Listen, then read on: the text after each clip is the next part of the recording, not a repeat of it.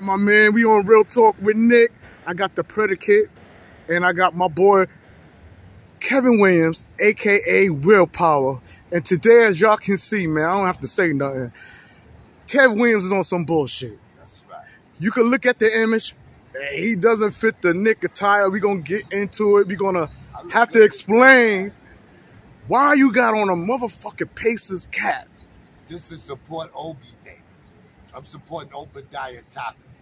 This is me in protest of you idiots getting rid of my future. I had a future with Obi. So y'all fucked it up. So I'm not gonna say nothing. I got my brother here, the predicate. He is an unadulterated genius.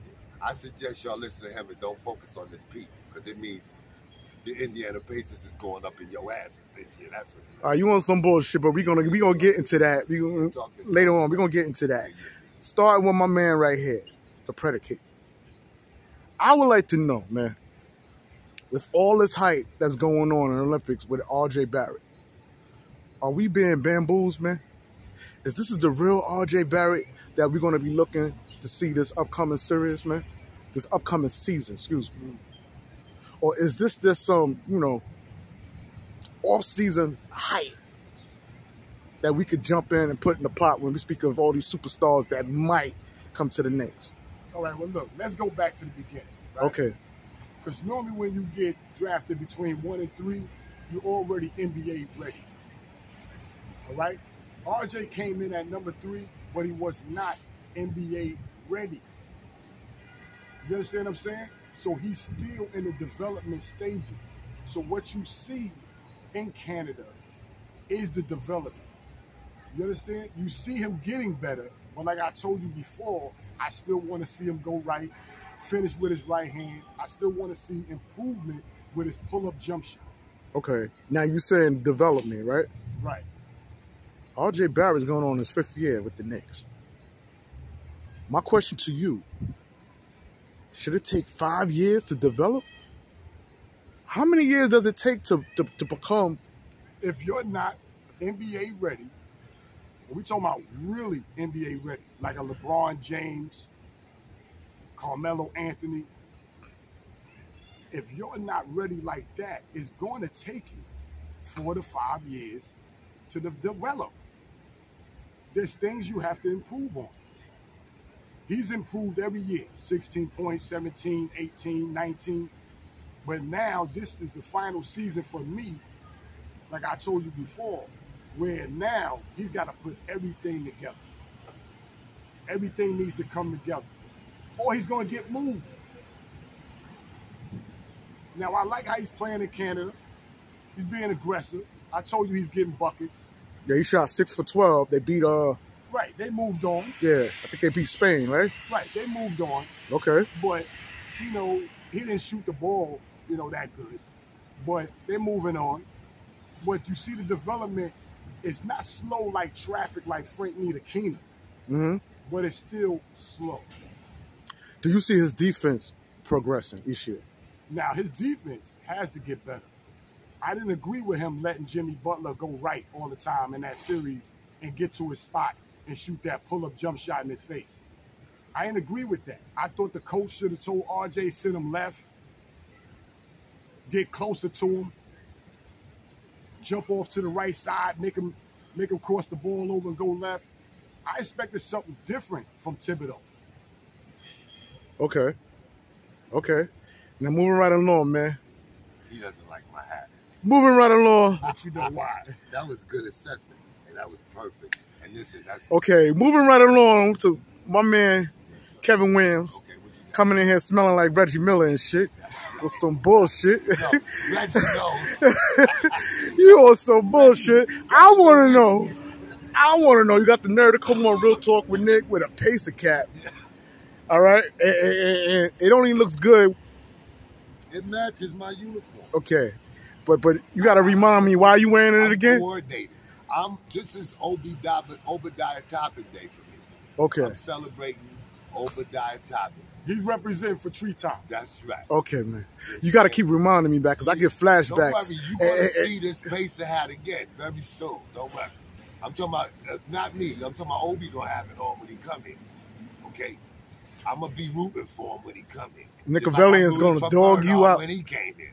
I see a history making a bet coming about. Okay, Okay. all right. Yeah. You see a Bernard King deja vu situation. I see something similar coming. Okay, I mean, a lot of dumps too.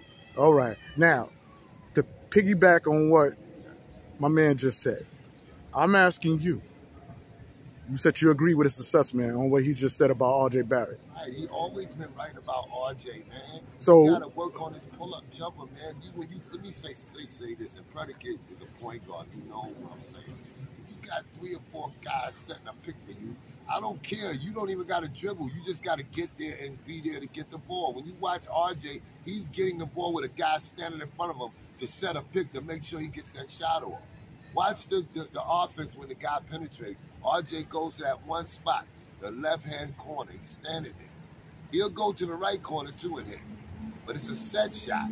In the NBA, we play man to man defense, dude. We got he's got to be able to do that off the dribble. Like I said, he don't go lateral. Like Predicate was showing me one day, he don't do that, man. He don't even euro step like that. I, I alluded to that. Now, when you say Euro step, explain, elaborate for those who. A euro step is a three-step thing, but you jump it to, to get rid of the step. More, most of the time, you run and jump away from a guy trying to block you. Jump It's- away it- from him. What it is is aggressive, uh, aggressive at the basket, change but you move direction, move, yeah. right?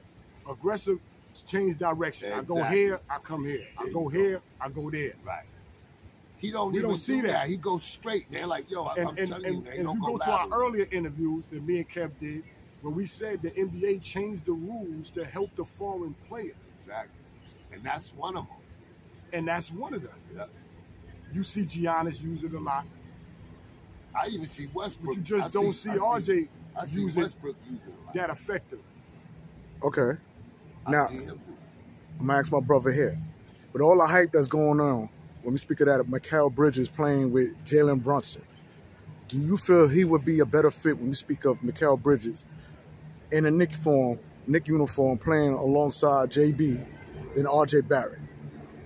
I think he would compliment him a little better because they have history. They played together, like we you know we spoke on. They played together in college. He knows him. He's playing with him again on USA. He's a better fit, and he's a better shooter. Explain, elaborate on the shooting. He steps into his shot with confidence. Like he expects to hit every time he lets that basketball go. Can you illustrate that? Does That's- it off that's the a- dribble that's too, a man, difference. better, man. He go right or Can you illustrate that? Can can can you demonstrate when we speak of the shot selection Ball the between ground and Mikal Bridges and RJ Barrett? Well, I won't even get up to show you. What I'll say is every time Kyle Korver got the ball, you expected it to go in.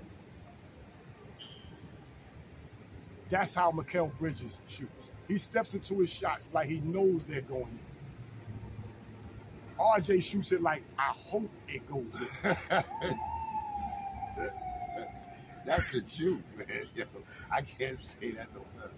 Do you know what the truth is? Yes. That you shouldn't have came on Real Talk with Nick with that Pacers cat. I'm boycotting That's the truth. You're trading Obadiah Toppin. This shit is going to get deep. And oh yeah, by the way, Julius Randle, I am not forgetting about your pet mug pug ass. I'm gonna get you too.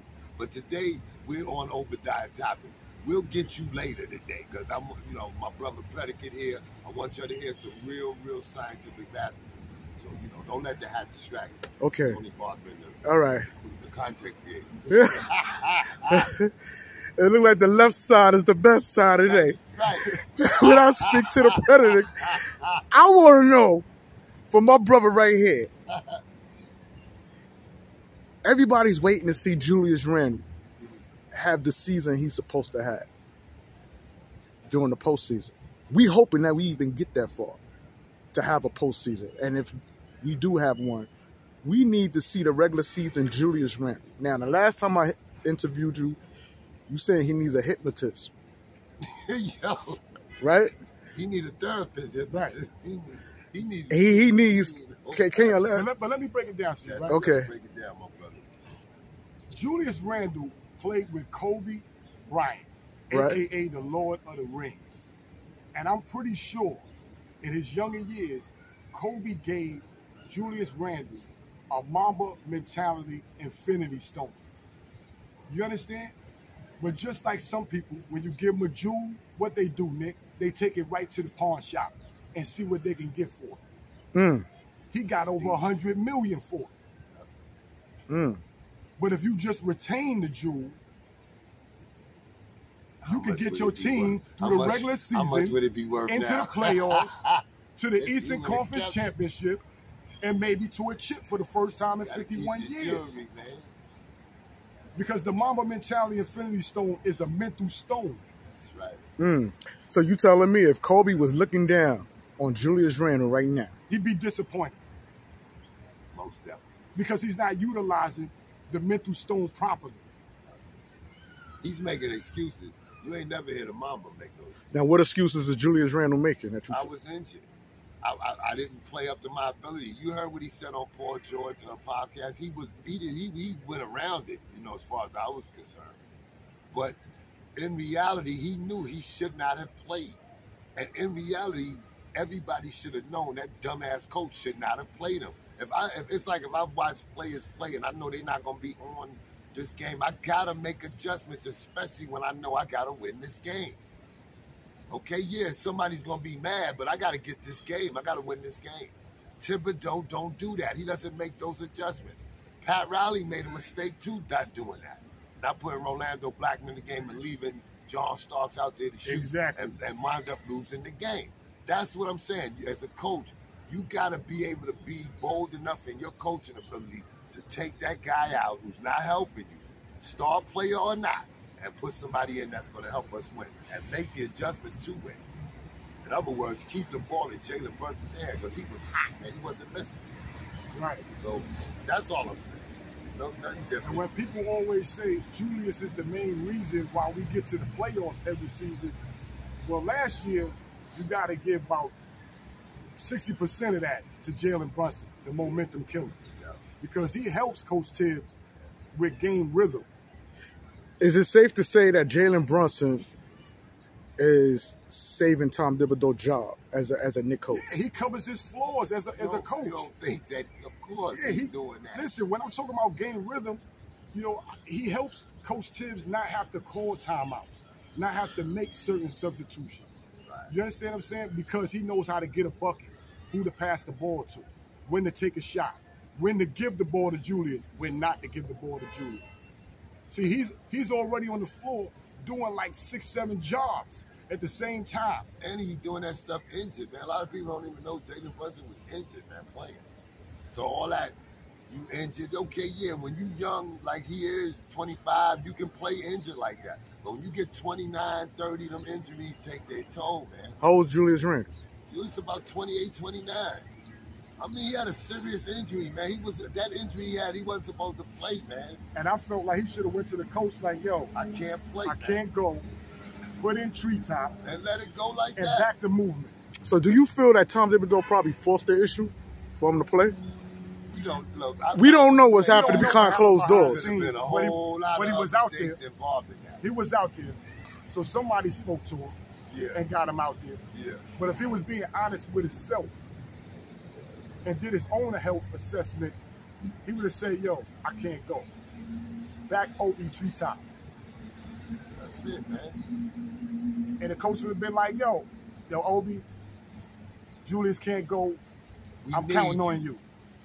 And, and yo, when he did that, when Obi got hurt, game one, when Miami won, Obi played his ass off. Then he got 18 points and eight rebounds. Game two, Julius come And back. You four don't, made threes. you don't even play this nigga. Like, yo, what is Right. you doing, man? And four made threes And in a game. I think where we couldn't make threes. 18. Julius played all right that game. Game, the game they won.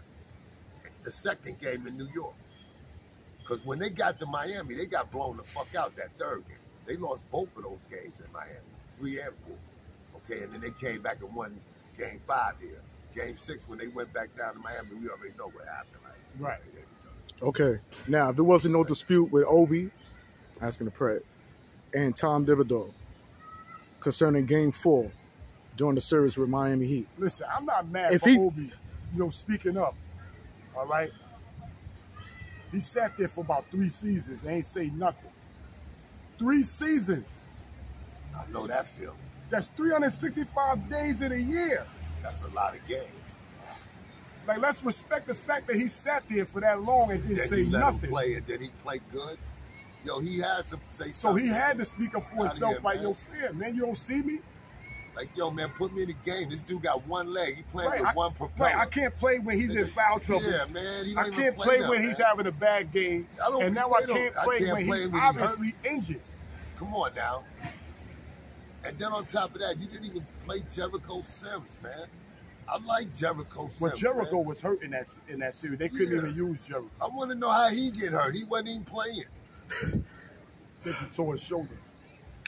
You know, like he's so frustrated, he dunking on niggas in practice like game shit. Play the man. You know, like for real. You know, like you you don't play. You only play seven, eight guys. And then when when Immanuel Quickley got hurt, where's Deuce?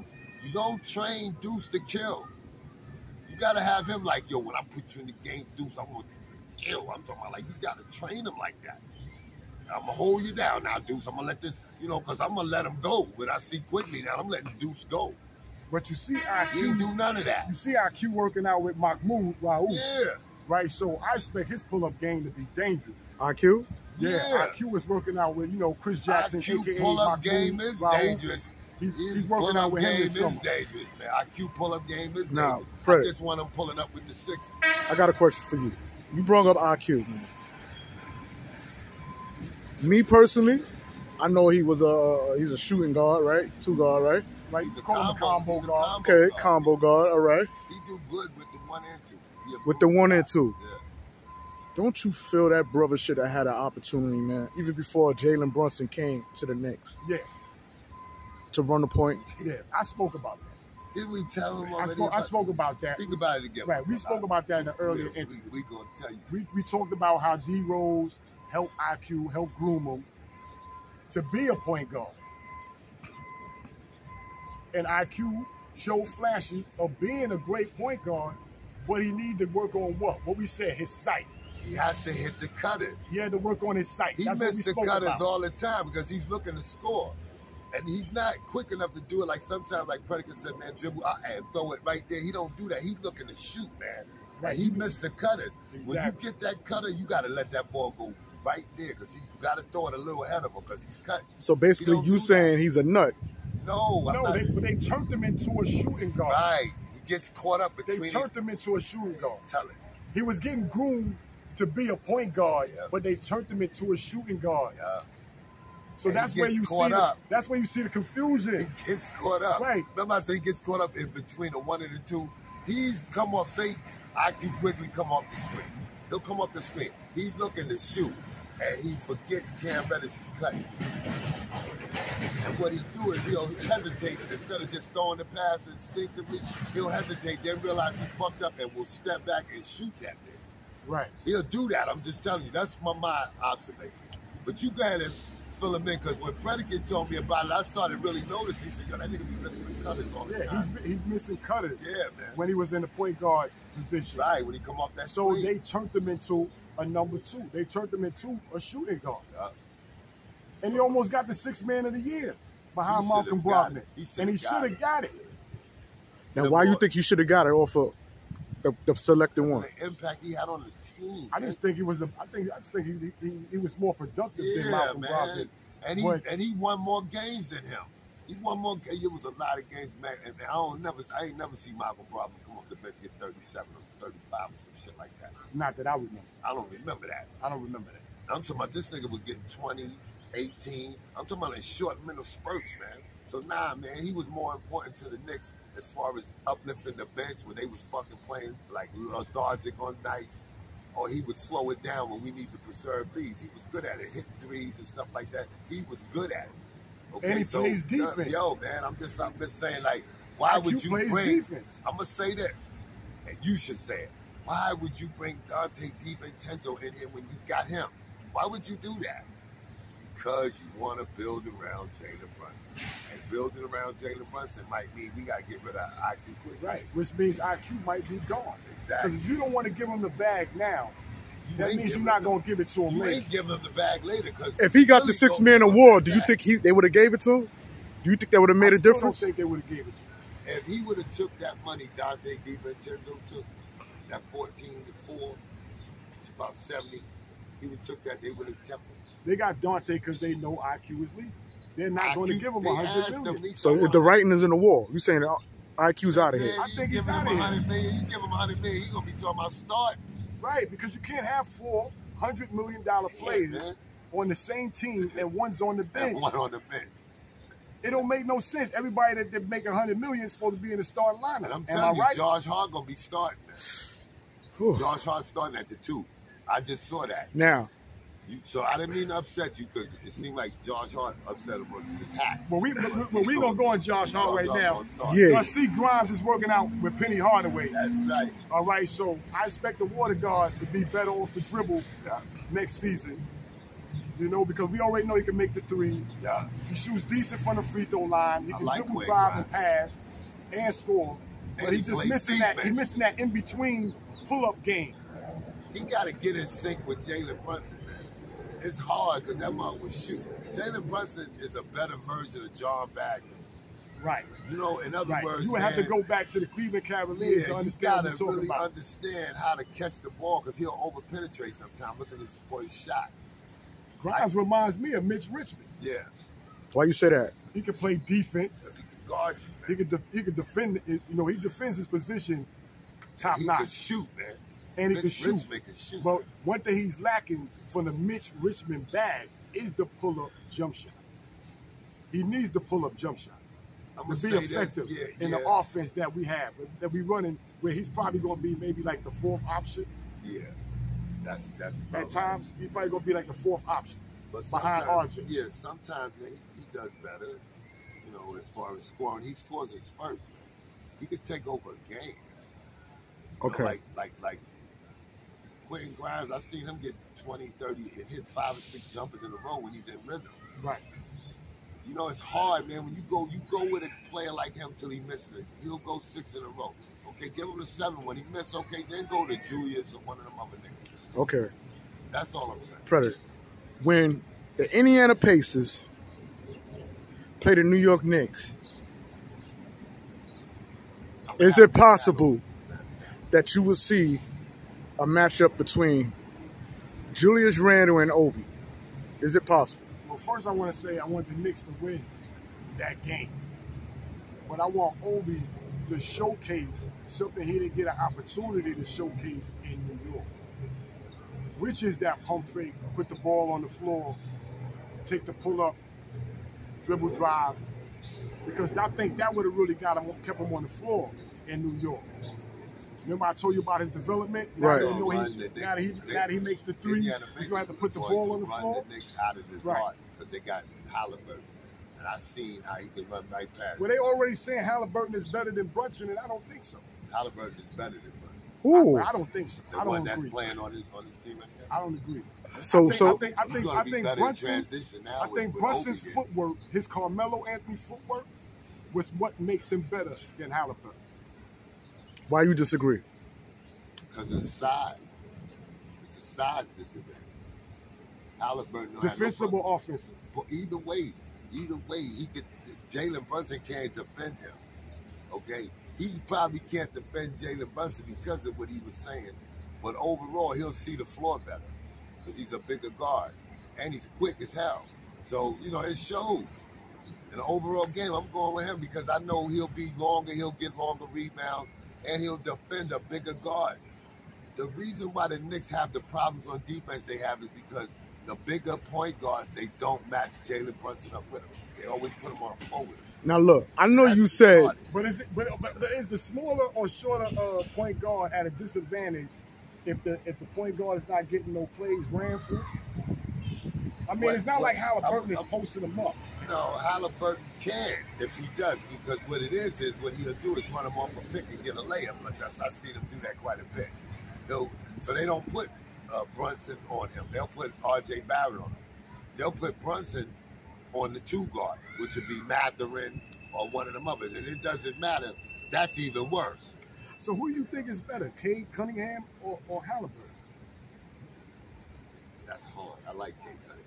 I think Halliburton uh, sees the floor. Uh, can I- you don't see my man is converted into a Pacer fan? I'm I'm not a Pacer fan. I'm No, no, no, no, no. You, not only do you look like a Pacer fan, But I look like one. you're too. talking like one. Yeah, You're talking like I one. sure am. On Real Talk with Nick, I think this dig a little deeper than Obi Yeah. being traded off the New York Knicks.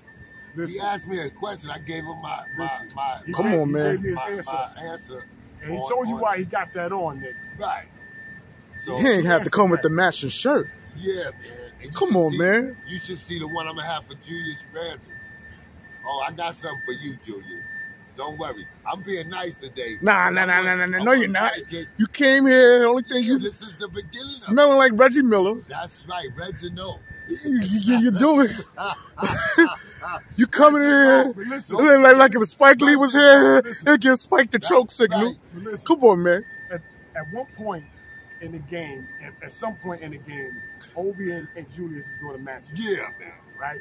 That's what I want to see. Now, I want to see that. I'm waiting how is for it. how is Julius going to Yeah. defend Obi? Explain that one, man. How is Julius going to defend Obi? Oh no, no, no, no. Sometimes he's, he's known he's known not to play no defense. Tell me that. Yeah. And no, and and listen.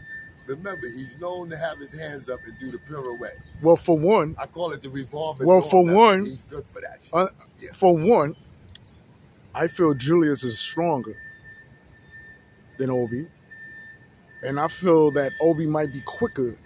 But if they playing under the under the pole, I think that's in favor of Randle. I see Obi getting fast breaks, alley hoops, dishing the ball beyond where Julius Randle might be able to post him. That's what I see. I see the running game being in favor of Obi. I mean, Julius has a more Do you ever see Julius? game. No, do you ever see Julius Randle has a- a, shooter? I Obi mean, can really? get out and get and get points quick. Like Yeah. If if But- Julius don't turn his, Julius is not going to He's going- But Who I'm play better defense? I, with defense, I would go with Randle. One of them played. listen, no, one listen, hold on, I got this one. Yeah, get him. Listen, nobody in the NBA, all right, plays defense like these two men, Patrick Beverley, Giannis Antetokounmpo. Yeah. Nobody plays defense like that in the NBA, Nick. So why are we always talking about defense? It's just like saying Carmelo Anthony didn't play no defense, but he scored 28,289 points. Who was guarding Melo? Yeah. Okay, so if that's the case, please explain to Nick what's all the hype when we speak of that as JH, JH, excuse me, Josh Hart. Every time we turn around, everybody's talking about Josh Hart being a def- he played Josh defense. is a hell of a basketball No, no, we talking about defense. Listen, listen. When we speak of George Hart, the first thing that come out of people's mouths, the first thing that come out of people's mouths is George Hart on the defensive end. Listen, Explain Hart yourself to me, man. Defense, right? Come on, man. Listen, Listen, listen, Trader. listen. G- g- g- Stop it, man. I like Josh Hart, man. I like him too, but I think it's an overhype, man. I think the Josh Hart dis- plays defense. Okay, so this is what we talking about. You didn't add him to the list Listen. when we was talking about But listen, players who let me play D. explain. I didn't hear anything from George. Josh Hart. Nothing came out on, your mouth. me explain, man. Am I right? Because a lot of people are mad because he got the bag Yeah, so man. quickly, I'm happy. right? Yeah, no pun intended. He got the bag so quickly, Right. where he don't have the IQ get the to bag. get the bag that quickly. Listen, Quickly that's why everybody going is to get the upset. Everybody's upset All you because got he got the hold his bag. Yeah, you can't You know what I mean? about that. But really, he defends get two, three turn to get positions, paid. Quickly time is coming. and he plays better defense than Fournier. So you're gonna see more floor time than Evan. That, So, you know, I'm not going to get mad because they gave him some money. I'm mad because they gave him the money before they gave it to IQ. Who's well deserving of it? I agree Exactly. Who put more work in? you, but at least Who put more work in? man. My man didn't even play a full players, season. Like He didn't even play a full season, and y'all throw this man 82 But mil? Offensively, I'm not giving him 82 million. Right, man. I'm trying to tell you something. I'm not giving him They 82 million asked him what did he want. I'm giving him that If they ask you what you want and you say I want a hundred million, they say, well, listen, man, we can only give you seventy four, and you say, Because nah. we got to say what those dollars are buying. They're not buying offense. They're buying defense.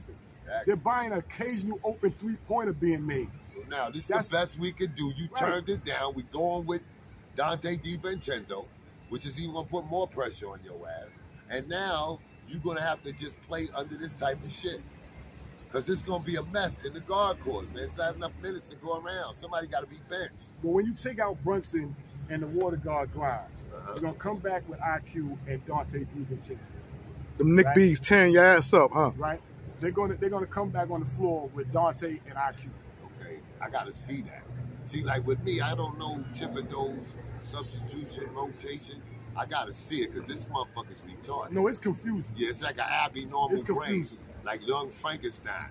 That motherfucker cut the brain out of a retarded man's head and put it in Thibodeau. that motherfucker's a nut. So that's that's our assessment that we think he gonna do. We'll wait, right? We'll come back. No, we're back. gonna wait. Yeah, we'll We come gonna wait. back and then we'll we'll We talk wait. more in depth about that because I'm not going to even try. I'm sorry to even. I'm not even going to attempt to think about what the hell Thibodeau rotation. is. I'm not. All right. Thibodeau calls in sick, hypothetically speaking. Yeah, he's sick all the time. Okay. Rick Brunson can't even show up. We got y'all two. Head coach, assistant coach. We'll win How would you run it? if if Jalen Brunson didn't show up. How would you run I would Day job, we gonna run the tape I back would start Immanuel Quickley as a, as a what? as a point guard. Okay. Okay, and I would put Josh Hart as the two guard. Okay, because R.J. Barrett, I'm I'm not going. You know, I'm getting rid of him. Oh, so you lost faith in RJ. He's not. He's not gonna play the two there. He's not gonna play the two there. I'm, I'm putting the Knicks back on the right course. I'm gonna get me a stretch three, and and and, and I got to get a backup four, a real backup four. I can't get this. You, you're not gonna win this if we any of them go down with an injury. Right? Believe me, if any of them go down with an injury pre- predicate, we are screwed. We got a bunch of second year and really rookies that's gonna be doing the thing. So now that's gonna be backing them up now. That's According another reason why I'm upset. right. Who is gonna be Julius Randle replacement, man? Who's gonna be uh, Obi's gone? Who's gonna fulfill in Obi's shoes, man? Roby, Isaiah Rowe. Isaiah Roby. That's all we got. You got rid of Obi and we got Roby. That didn't take too much thought, did it? good luck with that one. Hey, yo, listen, Indiana looking real good, huh? Indiana had looking. You got Roby and they got Obi, and y'all could have got Miles Turner. I don't get y'all, man. Y'all, y'all, y'all, y'all uh, making deals like retarded backwards. Y'all hustling backwards. Y'all, I'm going to trade Obadiah Toppin, I want Miles Turner. Same question I asked the trader. I want to know if you had the opportunity to coach the Knicks. No Rick Brunson, no Tom Thibodeau. You'd have had general, man, overseeing the play. How would you illustrate your starting five with the Knicks? Well, my starting five is going to be Brunson, JB, IQ. Brunson, JB, go ahead. IQ, right? Then I'm going to have Josh Hart, Right? Julius, and then I'm going to have Mitch. Okay. Okay. No different thought process. That's a good defensive team.